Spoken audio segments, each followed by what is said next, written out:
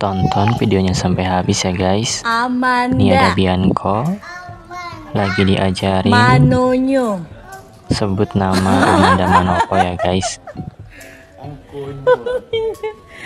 Lucu nih ngajarin ya. Tingkahnya bikin ketawa ya guys. Pokoknya Bianco itu hiburan di lokasi syuting ya guys. Bianco. Gimana? Bianco. Di saat capek syuting, ngeliat Bianco yang ada di situ jadi pada ketawa ya guys. Nih suasana lokasi syutingnya seperti ini ya guys. Kalian yang belum tahu. Nah kalau ini ada area Saloka di PIM ya guys. Thank you for watching. See you the next video guys. Bye bye.